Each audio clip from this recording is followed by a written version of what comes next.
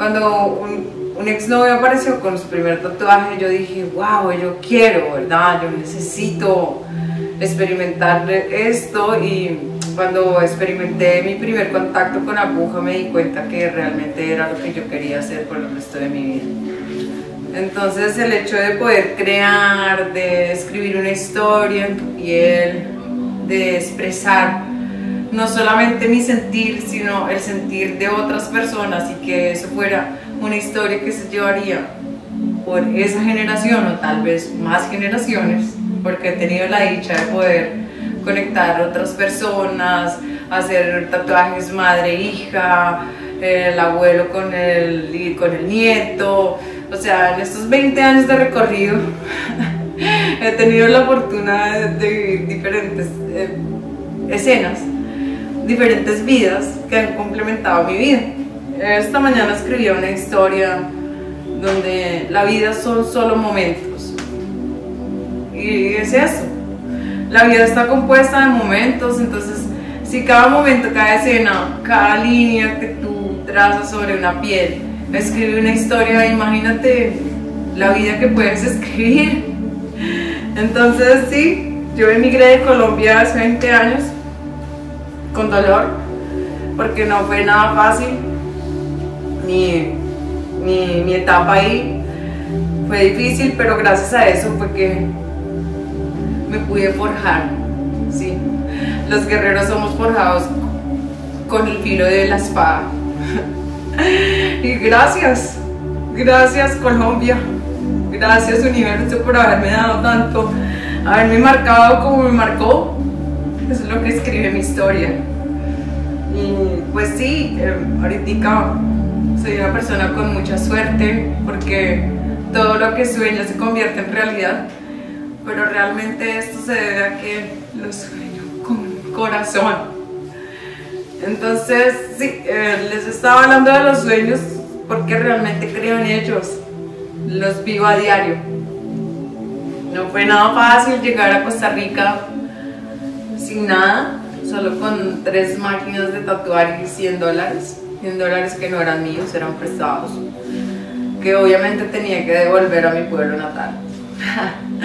Hoy no solo quiero devolverle a mi pueblo natal las gracias por haberme dado la vida, y haberme forjado una guerrera, sino que le quiero dar las gracias a Costa Rica y al mundo por haberme dado tanto, porque he sido súper afortunada estos 20 años de historia que se marcan en este 2021.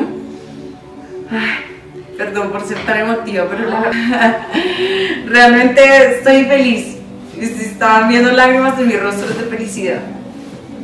Sí, me siento súper afortunada de estar hoy aquí contándoles un pedacito de mi historia.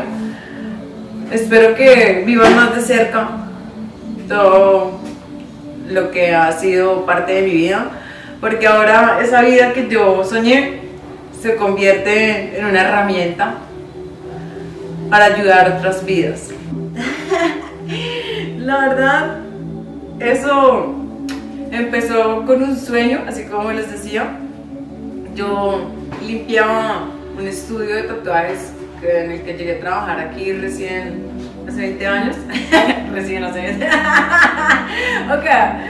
Y nada, un día salí ahí con Marco, el italiano, que fue mi primer compañero de, trabajo, y mientras fumábamos, nos dirigimos la mirada hacia esa esquina maravillosa que está en el centro Colón y yo le dije al mar, wow, ¿estás viendo ese local ahí de la esquina? Ese sería un estudio maravilloso. Wow, qué lindo quedaría ahí una tienda de tatuajes.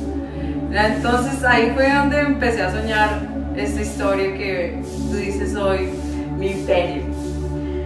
Los imperios se forjan con los sueños. Entonces realmente yo lo que quería era solo tener un espacio mío que me perteneciera en el cual yo pudiera desarrollar mi arte, donde yo pudiera escribir esa historia de sus pieles. Y de acuerdo a eso, pues, eh, el destino, la vida, el universo y mis sueños se han llegado a concluir en emociones como esta el día de hoy, acariciando mi perrito aquí bajo el sol del verano en Costa Rica 2021, atravesando la pandemia mundial. Les digo, sí hay esperanza. Sueñen, que los sueños sí se pueden convertir en realidad. Soy testiga de esto y lo vivo a diario. Y sí, soy súper emocional. Esta es Patricia Santana. Eh, imagínate. Hoy las charlas con mi psicóloga tienen que ver más que con mi vida personal, ahora con mi vida como profesora. La verdad, eh, nunca me imaginé esto, en, este, en este rol de la vida, el destino me puso en esto porque, pues, eh, éticamente hablando, al tener una suplidora y al verme involucrada en la distribución y siendo pionera de la industria, me di cuenta que muchas personas estaban recibiendo las herramientas en sus manos sin conocimiento previo a cómo su utilización, cómo cumplir los protocolos de bioseguridad es súper importante. Entonces ahí me di cuenta que mi compromiso con la industria sería así, ok, no podía parar de vender mis máquinas y todo lo que en ellas involucra, sino que además tenía que darles, aunque fuera bases fuertes de conocimiento, ética profesional, bioseguridad, que conocieran las herramientas por lo menos un poquito para poder desenvolverse en esta historia. Nunca me vi como profesora, la verdad. Trabajo en ello todos los días porque es una situación de paciencia y es una virtud que desafortunadamente no tengo, que trabajo en ello para poderme hacer un, una mejor, un mejor ser humano, ¿sí? Pero pues eso es parte de lo que Dios me ha puesto en mis manos.